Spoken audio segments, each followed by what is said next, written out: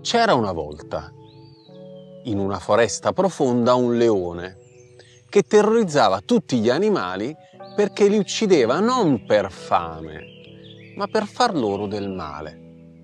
Gli animali, stanchi della situazione, si riunirono per vedere se riuscivano a fare qualcosa per cambiare il tutto.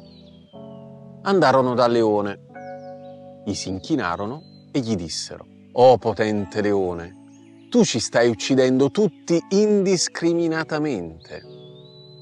Ti proponiamo una cosa. Giornalmente ti manderemo uno di noi a scelta, ma dovrai lasciare in pace tutti gli altri. Il leone accettò. Per primo toccò all'elefante, poi ad una scimmia. Il terzo giorno fu il turno della lepre. La lepre arrivò di fronte al leone in ritardo, dicendogli sarei arrivata prima, ma l'altro leone, eh, quell'altro della foresta, mi ha trattenuto. Scusami per il ritardo. Il leone eh, dimenticò il suo appetito e si adirò. Come? C'è un altro leone nella foresta? Sì, mio sovrano. Mi ha detto di dirti che appena ti incontra ti fa a pezzi.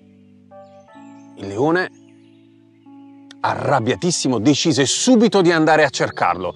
Dimmi dov'è, lepre, mi devi dire dov'è.